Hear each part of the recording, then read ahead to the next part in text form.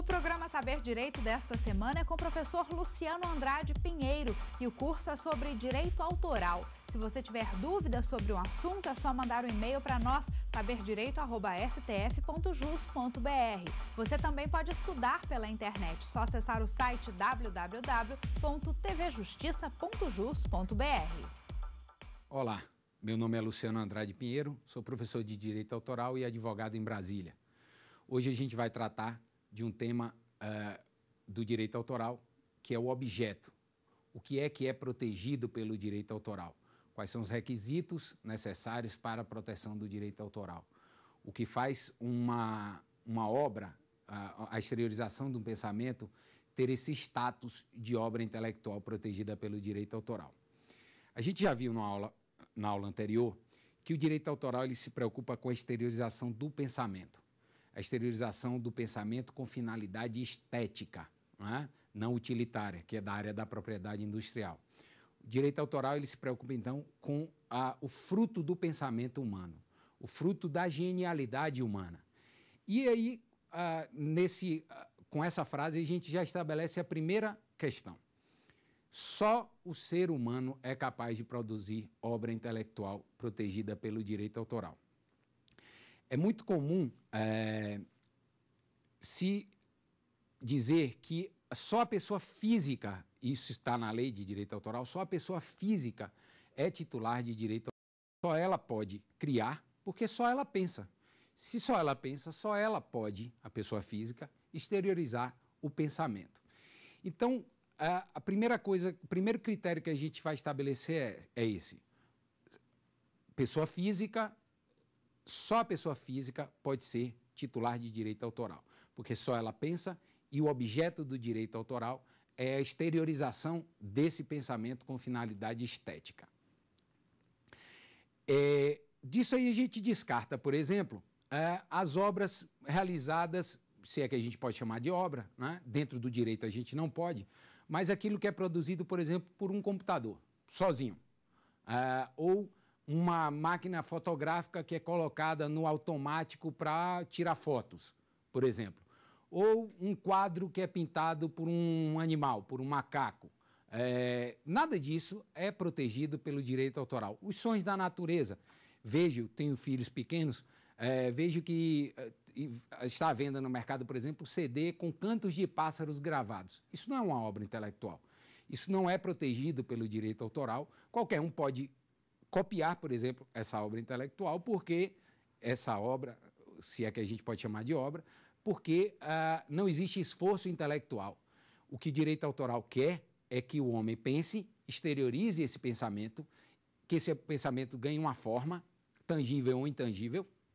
Daqui a pouco a gente vai ver que existem formas intangíveis de obras, né? suportes intangíveis de obras, que podem, eh, que merecem proteção do direito autoral. Antes de saber o que, qual é o, de fato o objeto do direito autoral, a lei traz algumas, é, alguns elementos que precisam ser analisados daquilo que não é protegido pelo direito autoral. E a gente pode começar por isso. Começando pelo que não é protegido pelo direito autoral, a gente vai criando uma, criando uma base para compreender o que é protegido quais são os requisitos necessários para a proteção pelo direito autoral. A primeira, o, primeira, o primeiro inciso lá do artigo 7 da Lei de Direito Autoral, que diz que não é protegido pelo direito autoral, é o seguinte: a ideia. Ué, professor, mas por que, que a ideia não é protegida pelo direito autoral? Porque a ideia, enquanto pensamento não exteriorizado, ela não pode ser apropriável por ninguém enquanto está na sua cabeça, enquanto está na cabeça do criador intelectual, ela não pode ser apropriada por ele. Ela tem que ser exteriorizada, ela tem que ser materializada, ela tem que sair da cabeça, ir para uma folha de papel, ir para uma voz, ir para uma tela de, uh, de, de, artes plásticas, ir para uma escultura. Mas enquanto ela está na cabeça do, do, da pessoa, ela não é protegida pelo direito autoral. E por que isso? É, como eu disse, a ideia, o pensamento, ele tem que ser exteriorizado, ele tem que ganhar o mundo, ele tem que ser, sair da cabeça. né? sair da, do pensamento humano e passar para o mundo. A partir desse momento, a gente vai ter a proteção. É, também está lá no artigo 8 da Lei de Direito Autoral as regras de jogo. Regra de jogo, plano, método. Por que, que regra de jogo, plano, método não é protegido pelo direito autoral? Vamos pegar um exemplo mais claro: a regra de um jogo.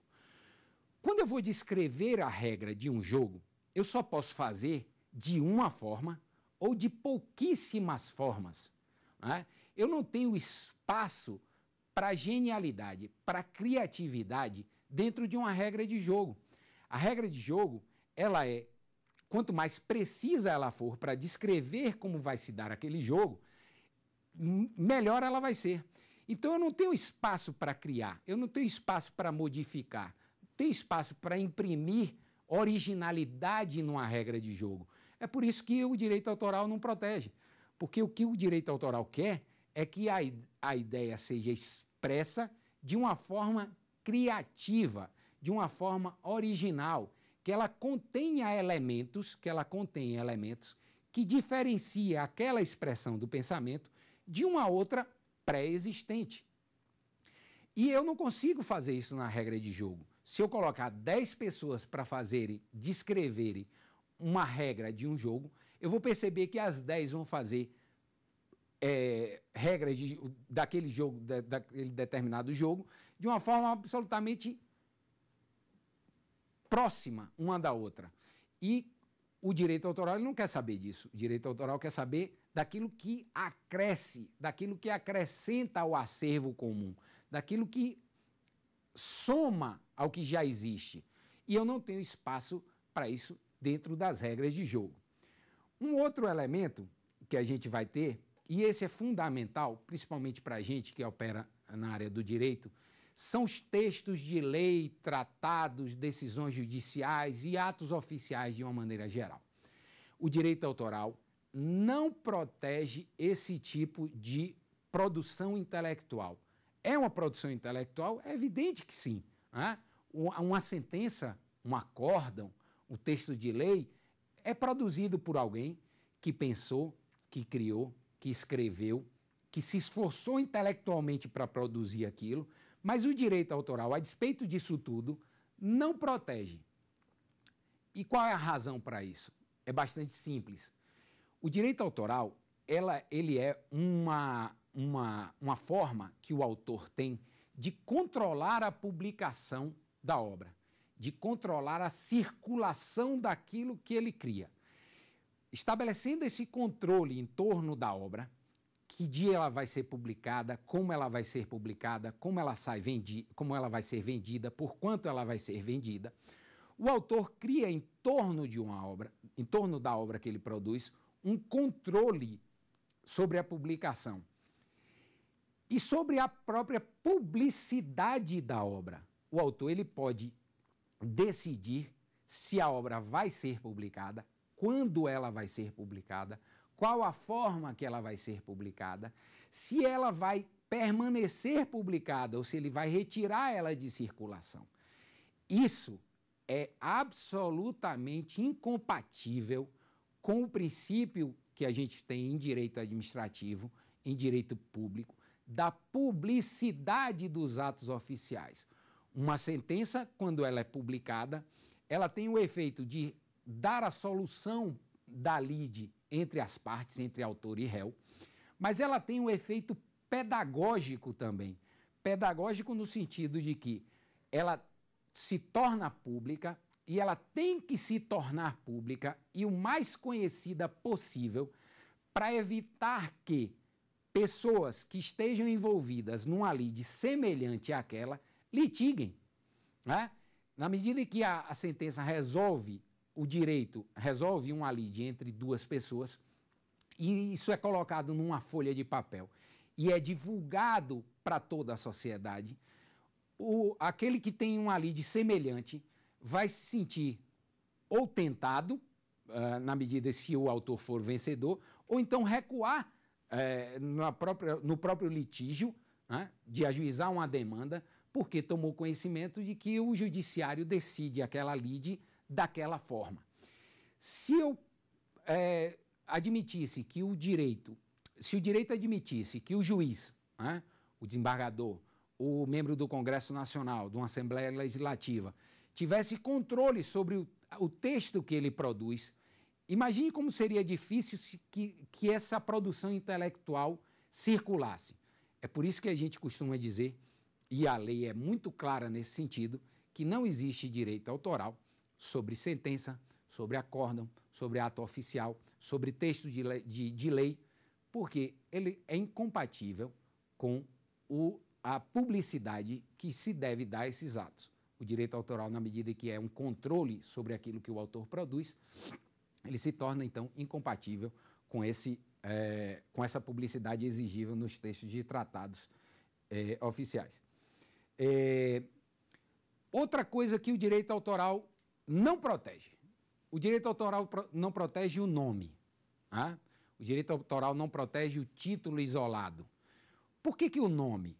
O nome de uma pessoa, a designação de uma pessoa, seja ela um, o nome próprio, o nome civil, ou um pseudônimo, não é protegido pelo direito autoral. O direito autoral protege obra intelectual. O nome de uma pessoa não é uma obra intelectual. Seja ela, pode ser o mais criativo possível, e o brasileiro é pródigo nesse assunto, né? de é, dar nome às pessoas, aos filhos. vou dizer, nem só brasileiro, não. A gente viaja para outros países e percebe também que é, existe uma criatividade grande na produção do nome né, das pessoas. Cria-se nomes, enfim, elaborados, nomes é, diferentes, mas o direito autoral não se preocupa com isso. Pelo motivo também de que, na medida que o direito autoral promove um controle pelo autor daquilo que ele produz, imagine se alguém fosse controlar o nome, o próprio nome. Né? Isso envolveria, inclusive, o poder de não deixar que ninguém tivesse o mesmo nome. O que é um, se a gente pensar numa situação dessa, seria um verdadeiro absurdo.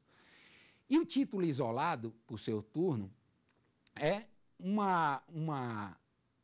O título isolado não é uma obra.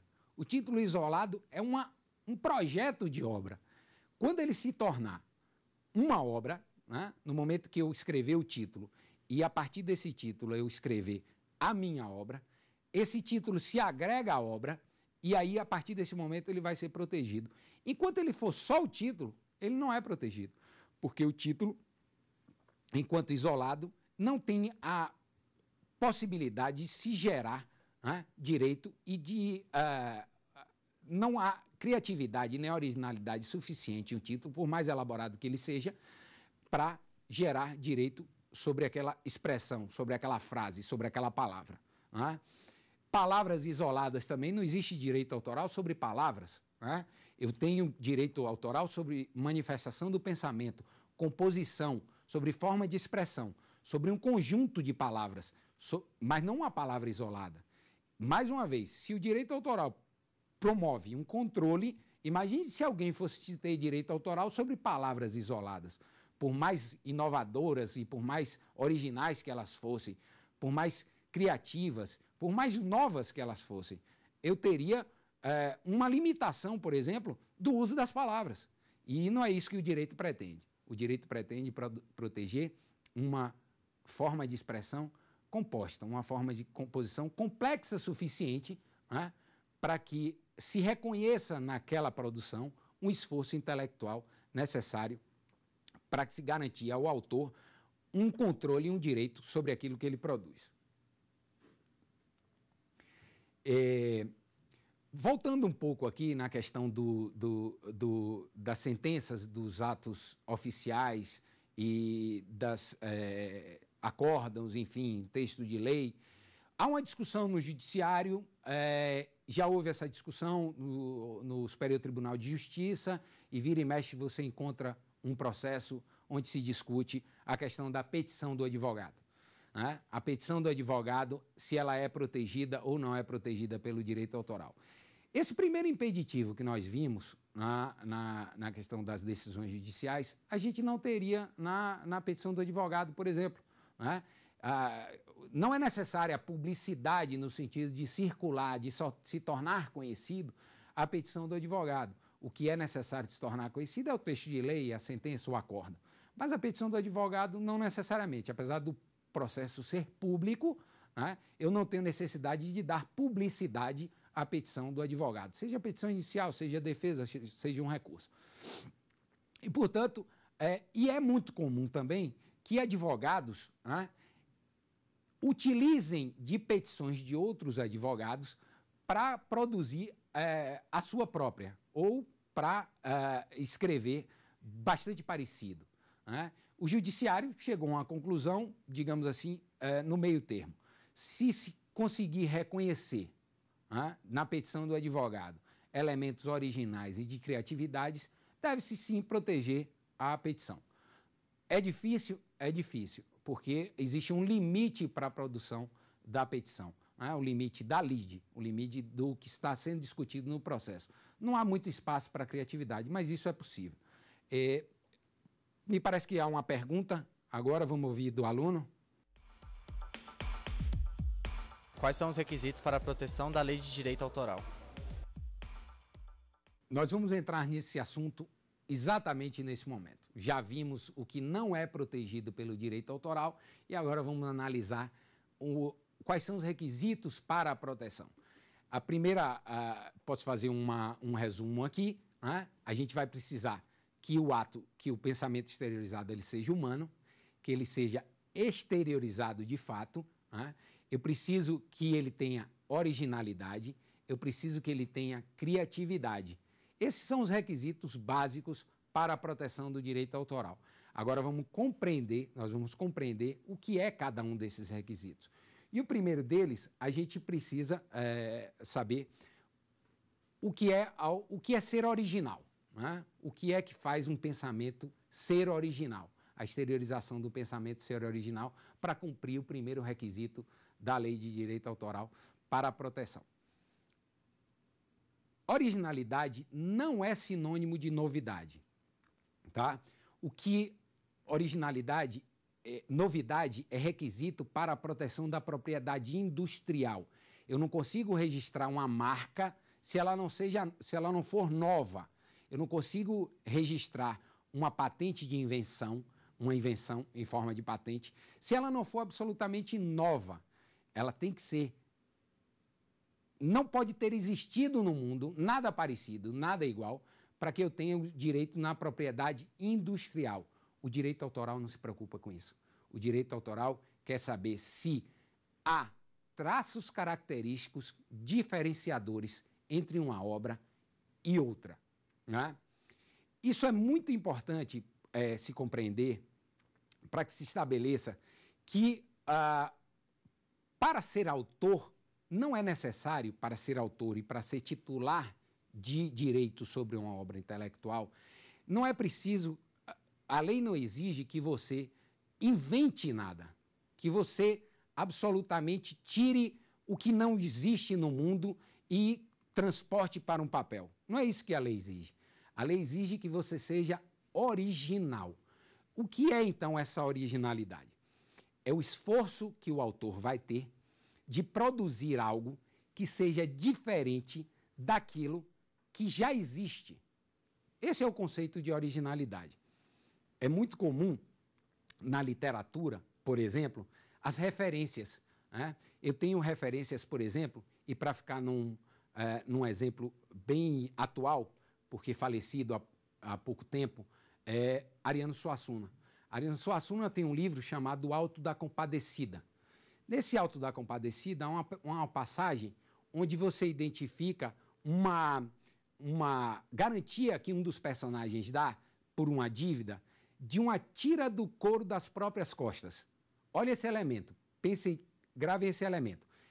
O, o personagem ele dá em garantia uma dívida, um empréstimo que ele faz de dinheiro, é, uma tira da, do couro das próprias costas, ou seja, um pedaço da sua própria pele é a garantia que ele dá. Esse, esse, esse mesmo elemento você vai encontrar no Mercador de Veneza de Shakespeare, onde uma, um personagem também dá em garantia de uma dívida contraída um quilo da sua própria carne uma libra da sua própria carne, para ser mais preciso. Vejam que Ariano Suassuna, ele pega alguma coisa que já existia, acrescenta um elemento criativo àquilo que já existia e transporta para o papel, na forma de um alto, na forma de uma peça teatral, né? é algo original. É novo no sentido de novidade? Não, não é novo. Shakespeare já tinha escrito.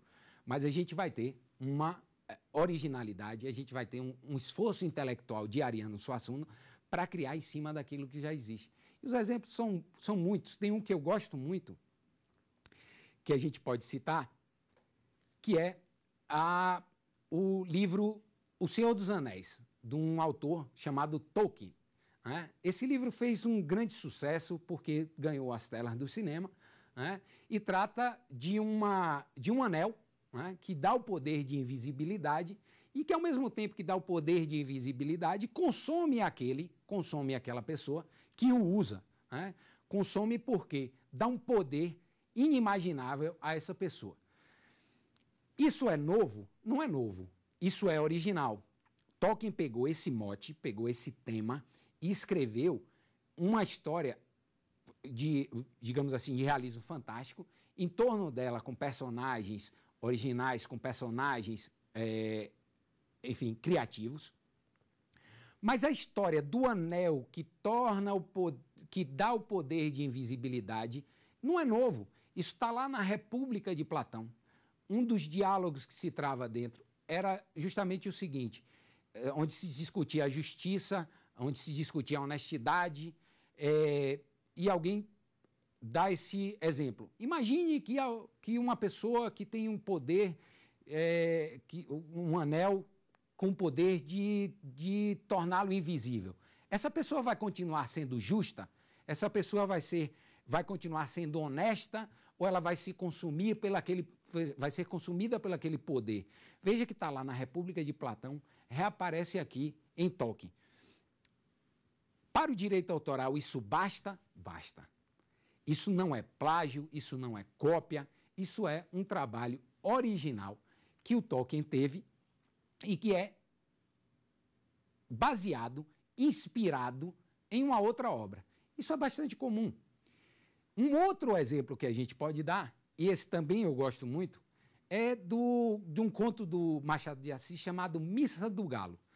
Esse conto, Missa do Galo, é um conto bastante conhecido de, eh, de Machado de Assis. A história é contada sob a perspectiva de um personagem. E não vou contar a história para não me alongar e para que vocês tenham a oportunidade, inclusive, depois de procurar esse conto, porque vale a pena ser lido. Quem não leu ainda. Mas quem já leu vai se lembrar. Ele conta a história. É, é, a história é contada com base na, na, uh, na voz de um, de um personagem. Tá? De um personagem. Uma outra escritora, Nelly Dapion, escreveu um outro conto ambientado com o mesmo ambiente, com os mesmos personagens, só que sob a ótica de, uma ou, de um outro personagem. Ele deu, ela deu voz a um outro personagem. A forma de expressão é diferente. Tudo dentro da obra é diferente. Os únicos elementos de conexão entre as obras são os personagens e o ambiente. E, é claro, a situação que está sendo vivida por eles. Essa obra de Nelly da Pinhon é original? Para o direito autoral, sim. Ela não, em absoluto, ela não é plágio, ela é uma obra que revela um esforço criativo e um esforço que a gente percebe que foi inspirado né, na obra de Machado de Assis. É, existem livros, e tem um, uh, um livro uh, que eu gosto muito, chamado a, Angústia da Influência, de um autor americano, crítico literário, chamado Harry Bloom. E nesse livro, ele trata do tema influência como não é um livro de direito, mas um livro de literatura, de crítica literária, mas ele diz como a literatura trata com a influência. E para o direito autoral, a influência ela é irrelevante. Eu não quero saber, o direito não quer saber se o autor criou aquilo absolutamente de uma forma absolutamente nova ou se ele criou aquilo uma influência baseada em outros autores. Basta para o direito autoral que se identifique isso, que se identifique originalidade. Né?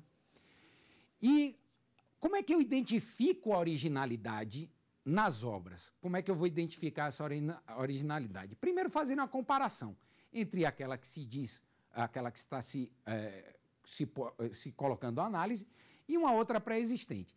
Se eu identificar que tem elementos ali que diferencia aquela obra de uma outra, eu vou ter uma obra intelectual protegida. Aliás, eu vou ter duas, a primeira e a segunda. Né?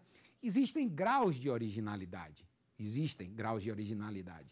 O que o direito exige é um mínimo de originalidade. Eu não preciso ter, ser muito original. Basta que eu seja um mínimo de original, de, tenha um mínimo de originalidade.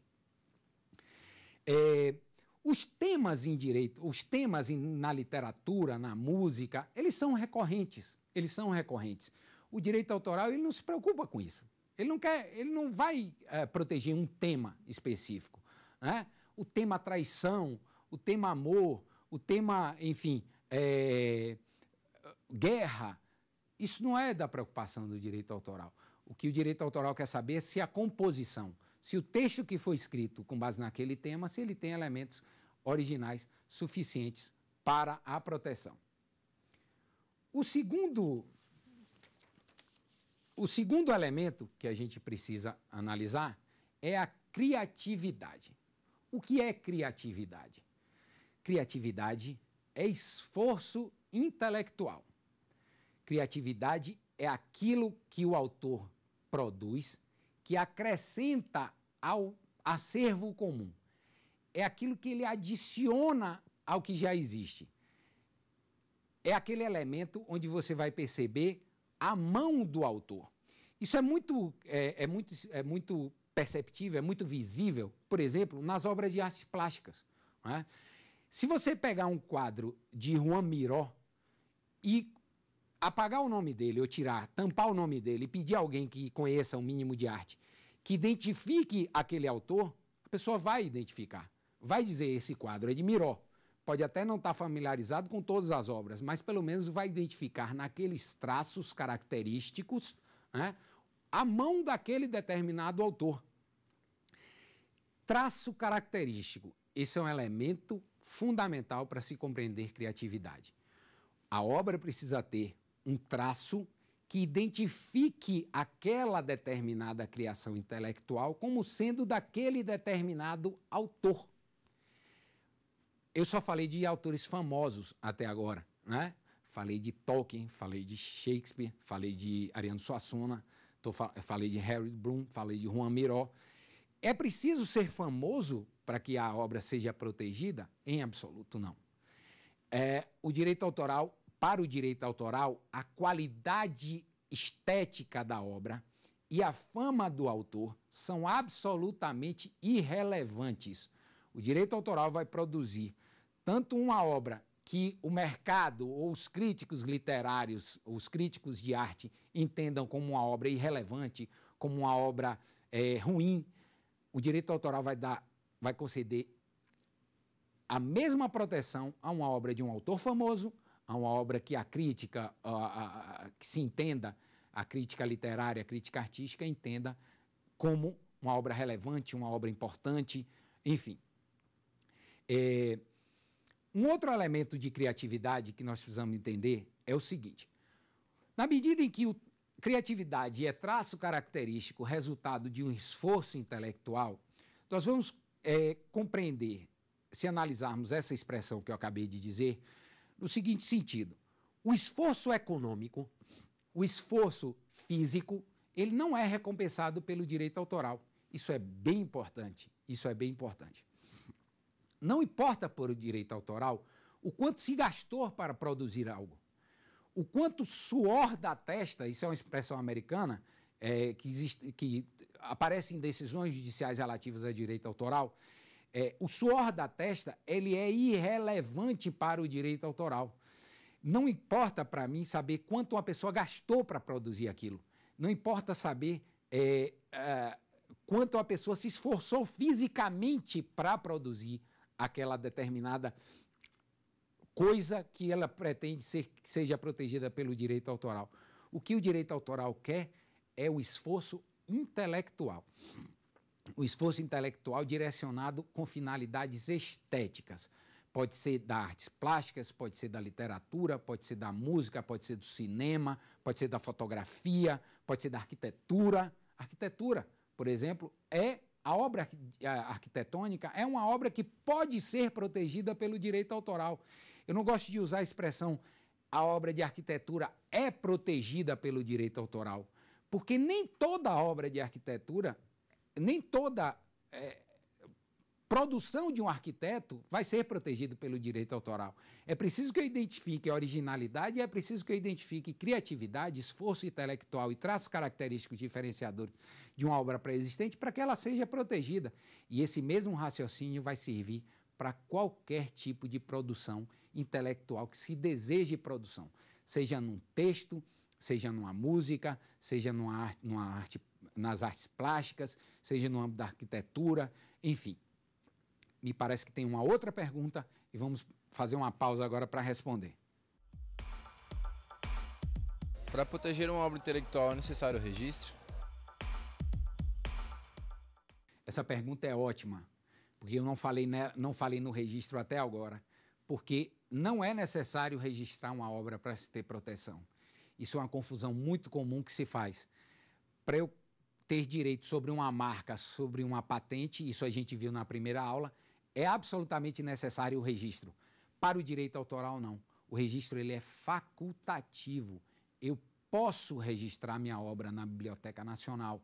Eu posso registrar minha obra num cartório de títulos e documentos. Eu posso, mas eu não sou obrigado. Aquilo vai me fornecer um elemento exclusivamente de prova da minha criação, da minha produção intelectual. Mas aquilo não me concede o direito. O que me concede o direito é exclusivamente a exteriorização do pensamento. Né? No momento que eu tiro da minha cabeça a minha ideia e transporto ela para um papel, para uma partitura, para uma tela de, uh, de obra de artes plásticas, enfim, para uma escultura, eu vou, a partir daquele momento, daquele exato momento, eu vou ter a proteção daquela obra e a titularidade será de quem criou aquela obra. Voltando aqui um pouquinho, eu tenho uma, um, um elemento também dentro da criatividade, eu estava dizendo que o suor da testa, ele não é um elemento, ou seja, o esforço físico, ele não é um elemento é, de análise para a proteção de direito autoral.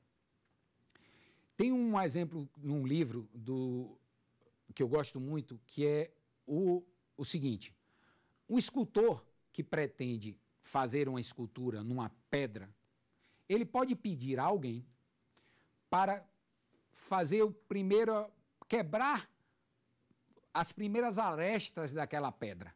Né? Essa pessoa que teve aquele esforço físico inicial de quebrar as primeiras arestas de uma pedra, não é autor intelectual, muito menos coautor daquele que vai dar, vai finalizar o trabalho, daquele que vai tirar, que tirou do seu pensamento o esforço intelectual de transformar uma pedra numa obra de arte. O elemento criatividade também é uma, uma diferenciação que se faz entre arte, por exemplo, e artesanato. O artesanato, ele não tem o elemento de criatividade. Por que, que não tem o elemento de criatividade? O artesanato, pela própria concepção do que, se, do que vem a ser isso, artesanato, é uma reprodução, uma cópia de alguma coisa que já foi feito ancestralmente é alguma, um, um objeto que vem de uma cultura, seja ela indígena, seja ela regional, ela vem aquele elemento sendo copiado, sendo reproduzido pelas pessoas. E quanto mais fiel ao original, quanto mais fiel ao original, melhor é o artesanato. Ora, se do direito autoral a gente quer que a, o autor acresça, que o autor acrescente alguma coisa ao que já existe, a gente tem uma diferença clara entre o que é artesanato e entre o que é arte para o direito autoral.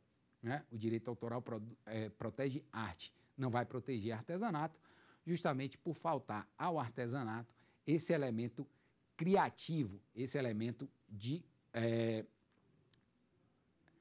esforço intelectual inovador ou de originalidade. A gente tem algumas, é, algumas obras que podem ser mencionadas que têm algumas particularidades. Né? A primeira delas, que a gente tem, é a obra, são os textos.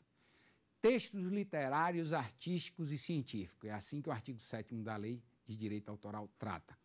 Textos literários, artísticos e científicos. Mas a primeira pergunta que pode é, surgir com relação ao texto é o seguinte: mas a, o direito autoral não protege, não é a arte, não é a finalidade estética? Como é que eu produzo, como é que eu vou proteger um texto científico?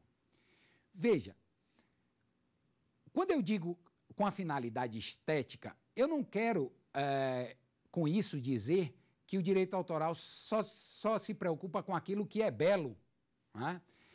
A finalidade estética de um texto, da proteção de um texto científico, quando a lei protege o texto científico, é o próprio texto, é a composição do texto, é a organização das palavras, das frases, dos parágrafos. Não é o conteúdo do texto.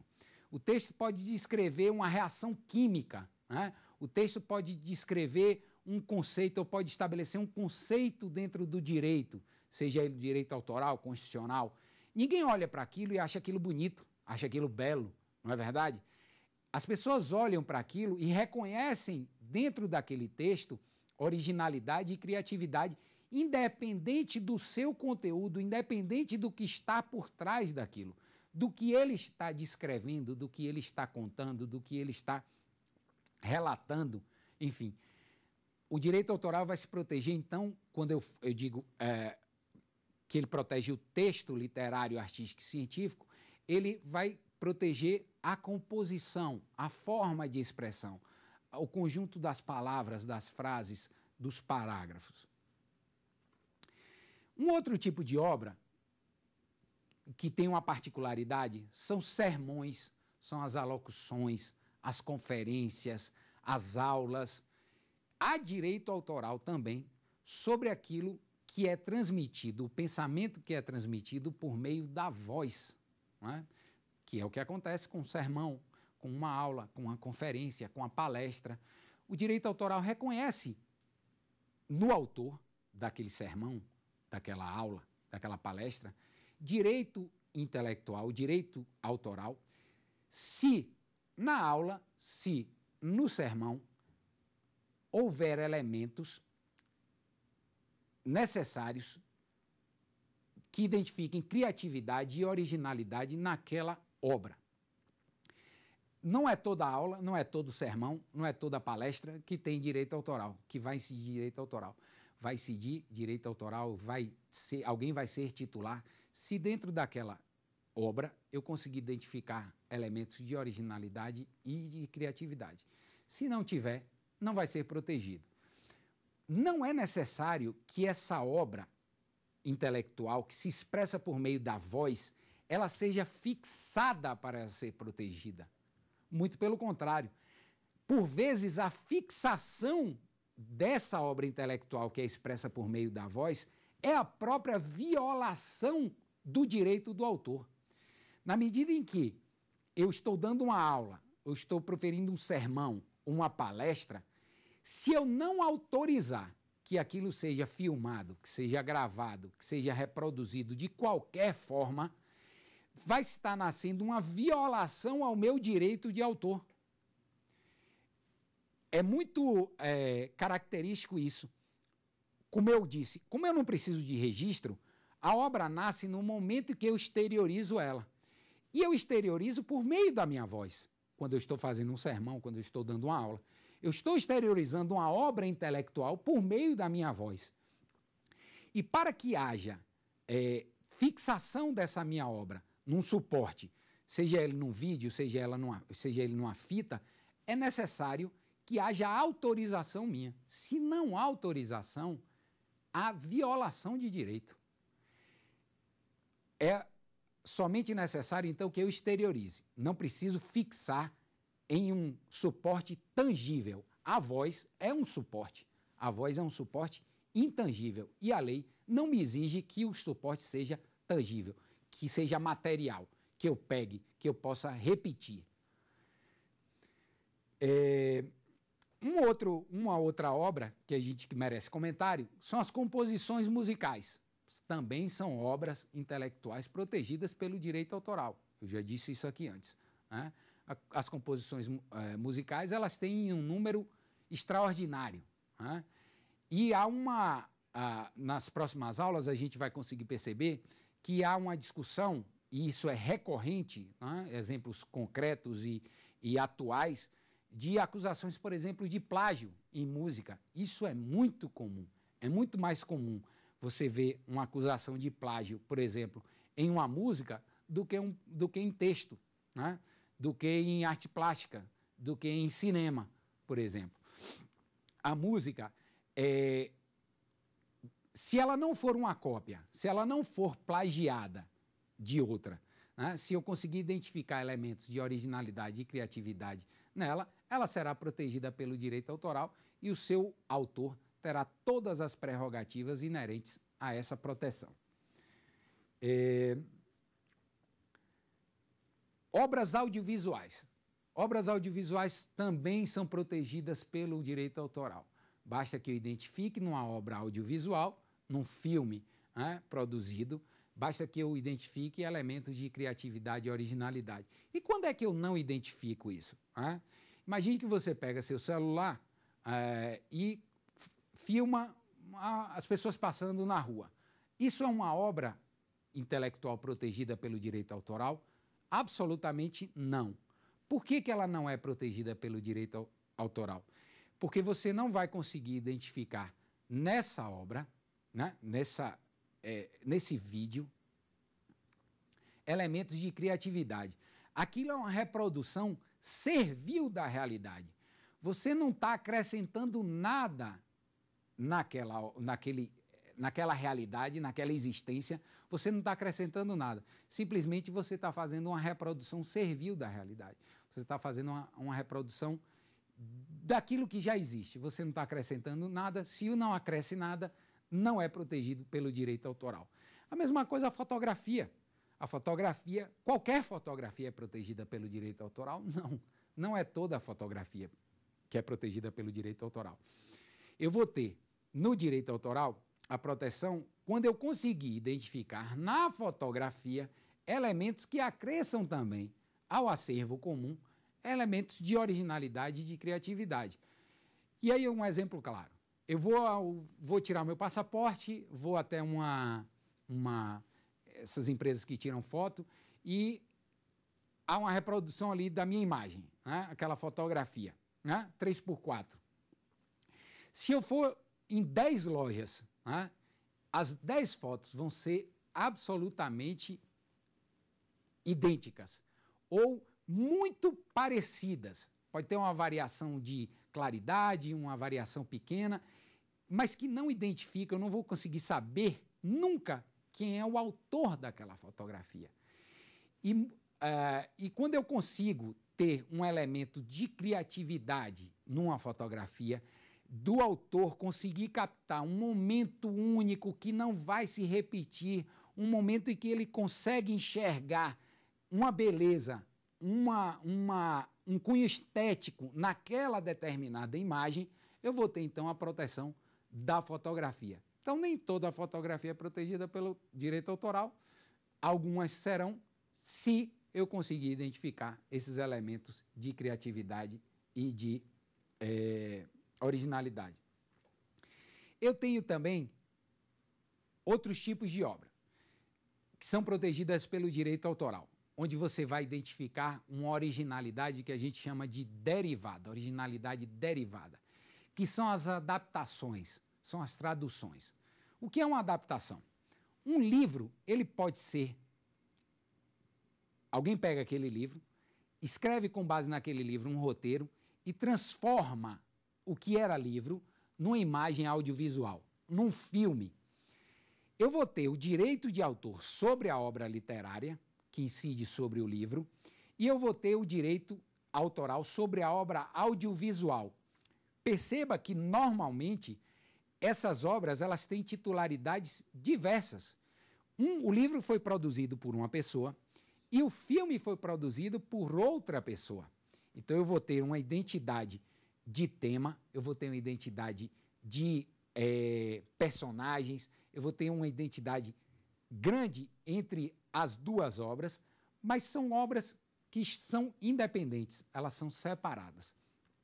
A gente vai ver numa terceira aula, que para numa quarta aula, perdão, que para haver esse tipo de adaptação é necessário autorização.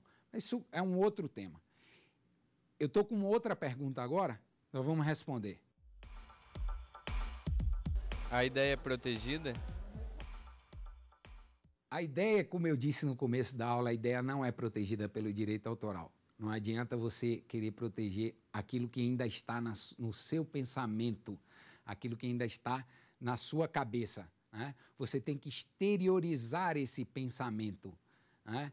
Existe uma discussão no judiciário, né? não brasileiro, mas já vi decisões é, em judiciários de, da Europa e dos Estados Unidos também, da questão da ideia elaborada, que é aquela ideia que é uma ideia ainda, né? mas que alguém botou no papel é um projeto, é um plano, por exemplo, de um livro, é um plano de um filme, é um plano de alguma coisa que será obra no futuro, mas que não é obra ainda. Né?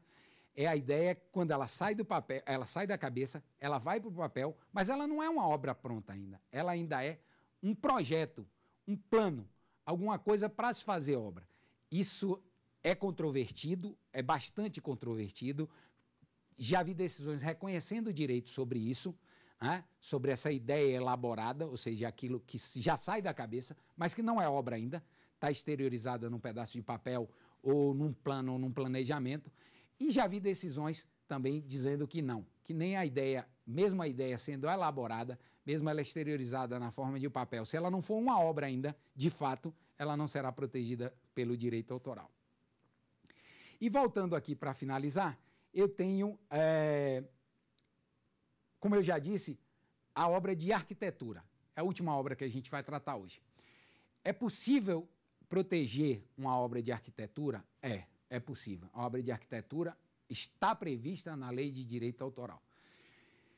Todo, toda obra de arquitetura, todo projeto arquitetônico, ele é protegido pelo direito autoral? Não, nem todo projeto arquitetônico. Eu posso dar um exemplo na nossa capital da República, em Brasília, eu estou em Brasília neste momento, é, alguém que vê uma obra produzida ou criada dentro de Brasília, como a catedral, você consegue identificar na Catedral de Brasília, naquele formato, ou no Congresso Nacional, você consegue identificar traços característicos, criativos e originais que diferenciam aquela obra arquitetônica de qualquer outra existente. Pode até ter parecida, mas uh, pode até ser, ter sido influenciada por ela, ou pode ter sido sofrer influência dela própria, mas a gente consegue identificar na Catedral de Brasília, para ficar num único exemplo, traços característicos que identificam aquela obra de arquitetura como uma obra protegida pelo direito autoral.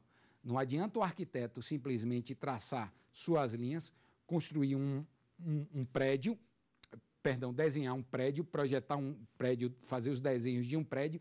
Se eu não conseguir identificar elementos característicos que os arquitetos chamam de partido, né, bem próprios de uma obra é, de arquitetura, aquela obra não vai ser protegida pelo direito autoral, o arquiteto não vai ter esse direito protegido.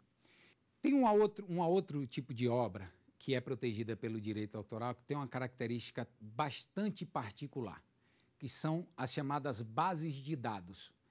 É controvertida essa proteção pelo direito autoral, porque imagine que o direito está concedendo a proteção, está previsto na legislação, de, uh, de uma base de dados. O que é uma base de dados? É uma compilação de dados.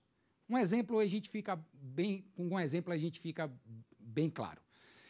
Imagine que eu queira fazer um livro sobre jurisprudência de direito autoral. Ou eu faça um site na internet e compile, faça uma, faça uma base com todas as decisões judiciais publicadas no Brasil nos últimos 20 anos. Né? Eu consigo fazer isso? Consigo fazer. Eu consigo reunir e separar, por exemplo, por tema, né? titularidade, objeto, plágio. Eu posso fazer uma base de dados dessa, onde eu estou tendo um esforço muito mais físico do que intelectual, mas é preciso, e aliás, e é possível reconhecer na base de dados também um esforço intelectual, e a lei garante ao titular, ou seja, aquele que produz a base de dados, direito sobre ela, com um limitador. Eu terei direito sobre a base em si. Eu não terei direito sobre os dados utilizados para produzir aquela base. Compreenda.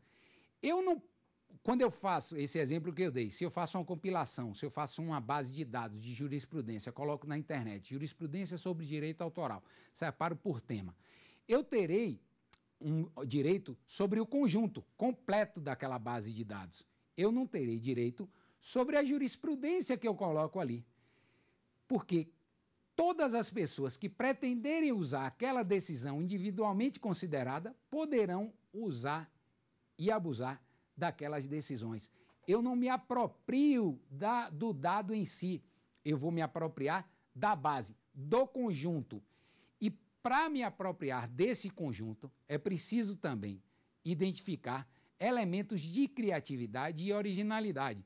Não adianta e, e também identificar esforço intelectual humano. Não adianta simplesmente eu programar um computador para que faça essa separação para mim eu teria direito, olha como direito é interessante, eu teria direito sobre o programa, os comandos que eu criei para que o computador fizesse aquela base, mas não teria sobre a base propriamente dita. Eu tenho que identificar esforço intelectual, criativo, original, na composição da base de dados, mas isso não me garante direito ao dado em si, né? em si considerado. E relembrando aqui, para finalizar a aula, que o registro ele não é obrigatório. Eu não tenho necessidade de, de registrar a obra para ter direito. Basta que eu exteriorize meu pensamento, basta que eu transporte do meu plano de ideias para um pedaço de papel, para uma tela, para uma partitura de música, para um vídeo, para uma fotografia, para que a obra seja protegida pelo direito autoral. É, o registro ele é facultativo e uh, o que o direito vai me exigir é simplesmente que eu tenha esforço intelectual, criativo e original. Na próxima aula, espero vocês, a gente vai tratar do tema titularidade do direito autoral. Nós vamos descobrir quem é o autor, como ele se torna autor e uh, quais são as pessoas físicas ou jurídicas que podem ser titular de direito autoral. Até a próxima. Se você tiver dúvidas sobre o assunto, é só mandar um e-mail para nós, saberdireito.stf.jus.br. Você também pode estudar pela internet, só acessar o site www.tvjustiça.jus.br.